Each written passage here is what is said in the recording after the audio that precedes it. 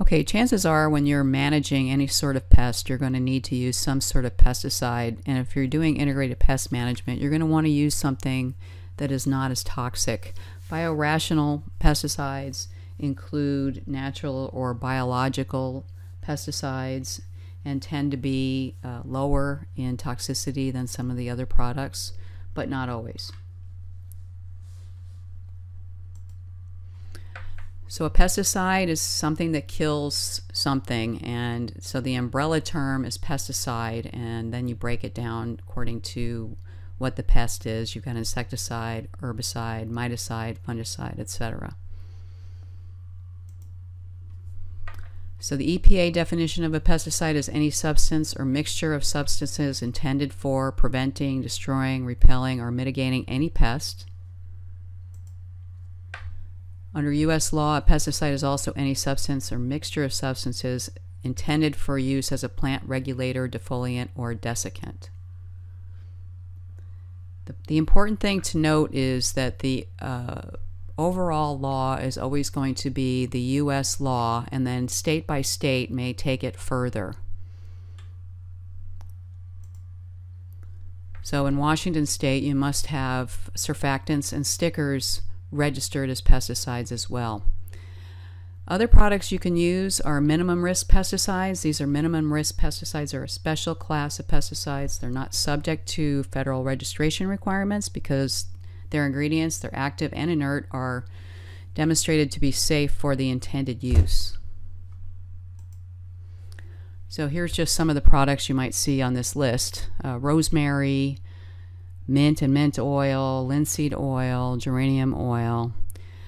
However, if you are managing pests professionally, you can't just make your own mixture. You need to buy a product that is formulated especially for dealing with the pests that you're trying to target.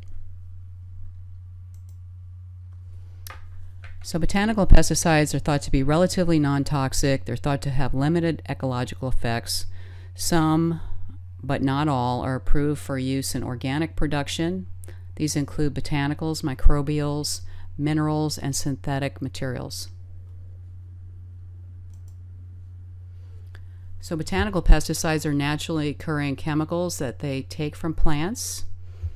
These are available as alternatives to synthetic chemicals but they're not necessarily less toxic to humans or other organisms. Some of them are the most deadly fast acting toxins and potent carcinogens that occur naturally, such as nicotine.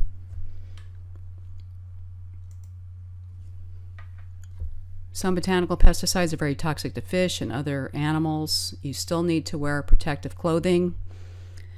The thing about them is they do break down readily in the soil, so they're not going to be stored in plant or animal tissue. Rotenone is a botanical pesticide derived from the roots of some selected Fabaceae. It's found either as a powder formulation from ground plant roots or extracted uh, from the roots to make liquid or crystalline formulation. It's a non-specific insecticide and may have some su success against arachnids.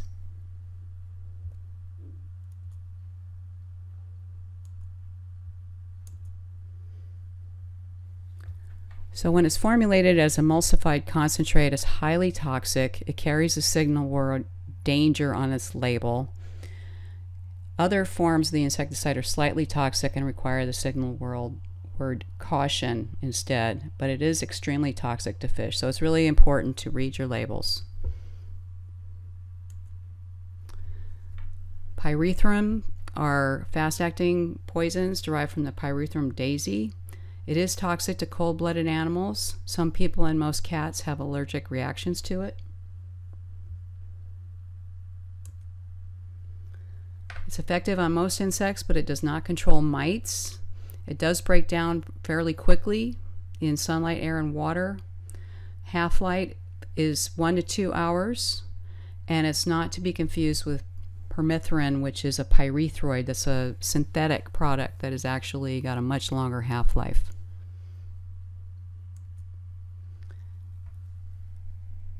Neem comes from the Azadirachta indica plant that grows in tropical regions.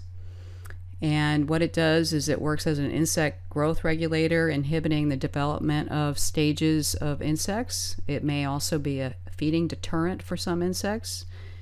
It's been reported to control over 200 types of insects, mites, and nematodes and can also be used as a fungicide. So, with organic pesticides, just because it's natural doesn't mean it's always safe. It may still be toxic. You still want to think of chemical controls as the last resort.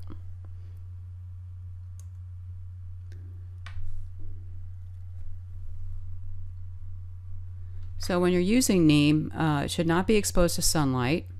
It must be prepared with water, and the temperature of the water needs to be 50 to 90 degrees. The solution is effective for only eight hours after mixing. It's most affected under humid conditions or when the insect or plants are damp. It does have a low toxicity to mammals. So some of the microbials that you'll see are Bacillus thuringiensis, and so you've got, uh, or BT. BT kurstaki is for Lepidoptera, that's for butterflies and moths. BT israeliensis is for Diptera, which are going to be in the fly family. So in the garden world, it might be for dealing with uh, fungus gnats.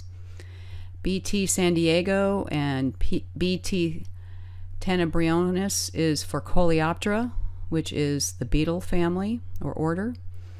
Beauveria bassiana is an insecticide, and Mycostop and GlioGard work for root rot organisms. So it's really important that you are aware of what else is going on. Uh, this is from a couple of years ago. The Oregon Department of Agriculture was going to apply BT kurstaki for Asian gypsy moth. And so they put this uh, graphic up to show when they were planning on applying it. And you will see that there are some other non target organisms that might get hit, but uh, for the most part, it's probably the safest time of year to do it. And of course, they're targeting the life cycle that they are trying to get on the Asian gypsy moth. So minerals such as sulfur can be used for foliar diseases. Kaolin clay can be used as an insecticide. It's used for apple maggot, codling moth. It also uh, works for sunburn protection. It coats the foliage with kind of this clay material. So soaps can be used, fatty acids of potassium salts used as an insecticide. Uh, safer soap is what people think about here. Horticultural oils can be used as insecticides. Potassium bicarbonate can be used as a fungicide. It's very effective on powdery mildew.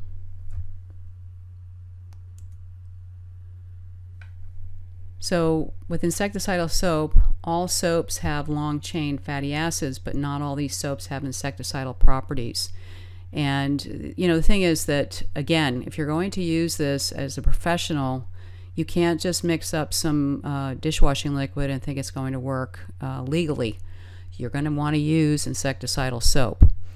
So they're specifically formulated to have high insect killing properties. They're contact only. That means you have to hit the insect if you don't, you're not, you're wasting the product and wasting your time. Uh, good coverage is essential.